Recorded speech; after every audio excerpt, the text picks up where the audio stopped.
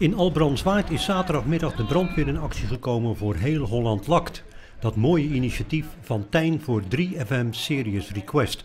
We zijn geld aan het ophalen voor uh, Serious Request, de actie van Tijn, uh, de lak aan actie.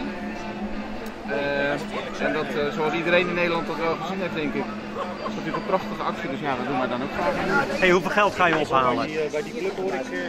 Ik hoop... Nou, dat is mooi. Ja, Mevrouw, waarom heeft u meegedaan aan deze actie? Nou, omdat ik het heel belangrijk vind. De ziekte moet ze overwinnen met allerlei onderzoeken. Dus ik hoop dat ze met dit geld een kleine bijdrage, een klein dubbeltje van de groeiende plaat beginnen.